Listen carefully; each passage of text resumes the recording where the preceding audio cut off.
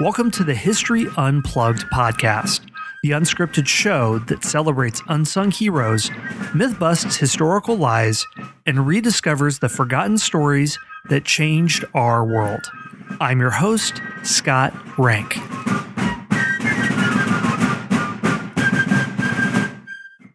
Hi, everyone. Welcome to an in between episode where I answer any question that you have for me about history.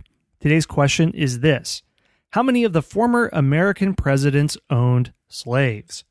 I'm going to answer that question. I'll give you the simple answer. And I'm also going to dig into some of the interesting stories that come about of presidents owning slaves especially since they took an oath to uphold the Constitution, a document that says all men are created equal, when they're also engaging in institution slavery that obviously says that all men are not created equal. How do they deal with that hypocrisy?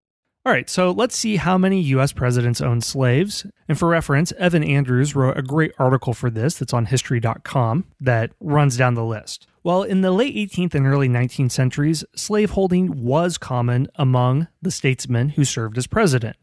There were at least 12 chief executives, which is over a quarter of all American presidents, who owned slaves during their lifetimes. And eight of them held slaves while they were in office. Well, slave labor was an integral part of early America.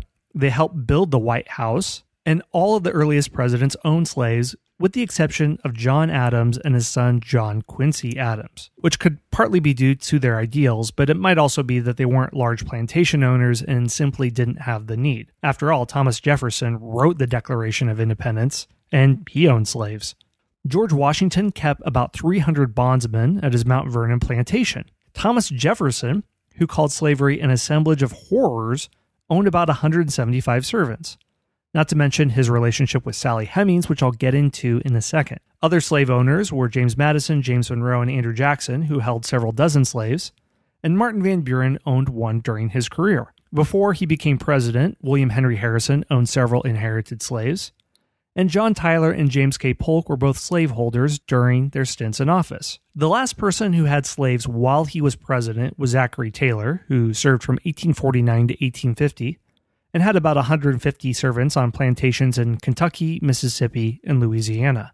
Andrew Johnson, who was Abraham Lincoln's vice president before becoming president in 1865, had at least half a dozen slaves in his native Tennessee.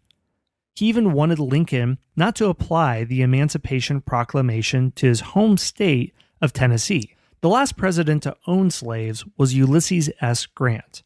He served two terms between 1869 and 1877, and he had one slave named William Jones in the years before the Civil War, but gave him his freedom in 1859. Later on, to go with the times, Grant said that slavery was a stain to the Union that people had once been bought and sold like cattle. Now, Thomas Jefferson's relationship with Sally Hemings is interesting and even stranger than I realized.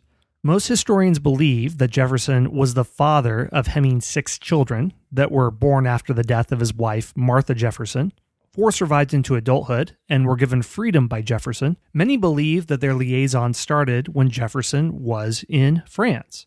In 1787, Hemings, who was 14, accompanied Jefferson's youngest daughter, Mary, to London and then to Paris, where Jefferson, who was 44 at the time and a widow, was serving as a U.S. minister to France. Hemings spent two years there, and Hemings remained enslaved in Jefferson's house until his death. Historians mostly believe that the two had children together because a 1998 DNA study found a match between the Jefferson male line and a descendant of Hemings' last son, Eston Hemings. Well, here's where it's strange. Hemings was not 100% black genetically. She and her siblings were three quarters European. She was the daughter of John Wayles and a mixed race woman that he kept as a slave, Betty Hemings. To top it all off, it's widely believed that she was the half sister of Jefferson's wife, Martha Wayles Skelton. And as an infant, Sally came to Monticello as part of Martha's inheritance of her father's slave holdings. When Jefferson died, Sally's four children, who had survived into adulthood Beverly, Harriet, Madison, and Eston were seven eighths European in ancestry, and descendants of those three who entered white society as adults identified as white. So Sally looks very different than what we would imagine her to look like. And her being the half sister of Jefferson's first wife, which wasn't plainly clear at the time, Jefferson might not have even known it, makes this whole story a lot more weird and confusing. Can show how bizarre the institution of slavery could really get and affect even presidents in early American history.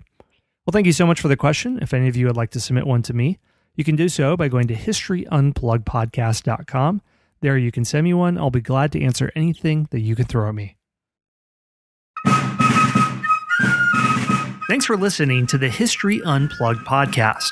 Be sure to subscribe to the show to get your daily dose of all things history related, from ancient Greece to the Cold War. You can do that by going to historyonthenet.com forward slash subscribe. Speaking of history on the net, if you want to dive deeper, go to our site historyonthenet.com, and there you'll find blog posts, book reviews, and all of our other podcast episodes. Plus, don't forget to rate and review this podcast so we can bring you the best daily history content possible. We'll see you next time at the History Unplugged podcast.